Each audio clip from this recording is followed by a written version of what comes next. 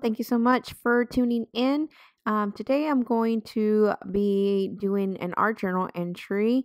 Uh, here I'm showing you my Bible journal uh, or my journaling Bible, and I have already created um, this theme um, on Genesis 1 1 already with watercolors, and I decided that I wanted to use more supplies from my craft room that I just kind of have forgotten about it and haven't used them in a while. So I'm using my disc-bound art journal that I made a while ago.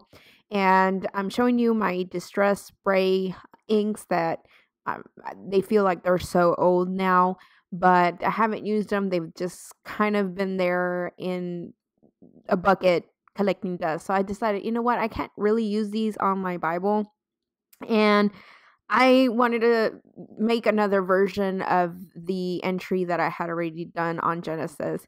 So the whole thing, um, why I started off with Genesis is because I bought a new study Bible. Um, it's a CSB version, and it's specifically a study Bible. And I just decided that if I was gonna dig deeper into the Word, um, that I wanted to know from the get go, from the first book in the Bible and then go my way, like in order, you know, from Genesis all the way down to Revelation. And so I decided to uh, do this art journal uh, reflecting uh, Genesis 1 1.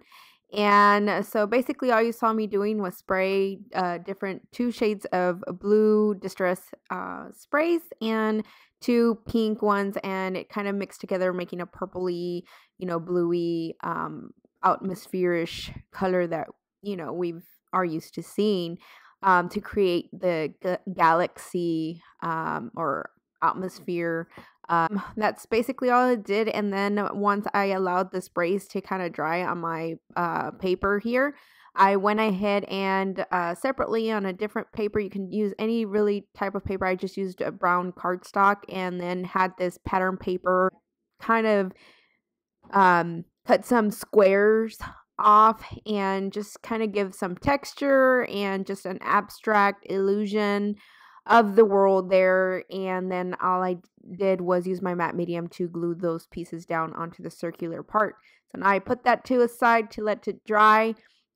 And here I am working on my background some more. I'm using a scripted stamp. All I did is I took a scripted stamp, which is the Lord's Prayer, by the way. I got it at Hobby Lobby many moons ago. And I took it off the block just to have more control on where I want um, the lettering. And I was just testing some new technique.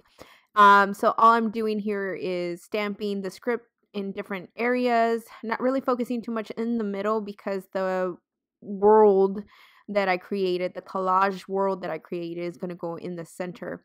Um, then I used some other uh, stamp that um, that I also have on a block, and I just decided to keep that one on the block and all I am did was stamped in different areas and right here I'm just ink blending uh, my archival black ink in different areas. Now if you have the distress oxide ink that one's probably a lot better to blend than the archival ink but I did not have that so I I did what I could with what I had so for the list of supplies, they will be in the description down below. Um, pretty much what I'm doing here is self-explanatory. You can see it. If you have any questions, go ahead and uh, comment down below and let me know what uh, you are wondering what I did in a certain part of this video. And I'll be more than happy to um, answer your question. I'm going to put some music towards the end of here and then I'll check with you back when this is finished.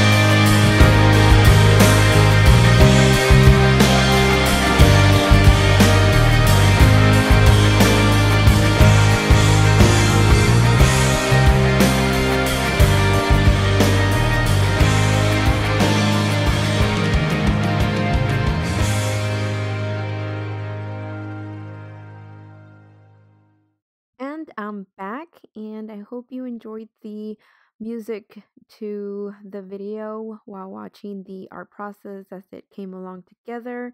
Um, here I'm just doing the last final touches where I added in the beginning um, because that's the way in uh, Genesis 1 1, the verse starts with, In the beginning, God created the heavens and the earth. So in the back here, um, I can either gesso whatever bled through um, or regular acrylic white paint to cover that up, or just leave it on there and add a couple lines to kind of journal and reflect on what were my thoughts or revelation at the end in the back of this page.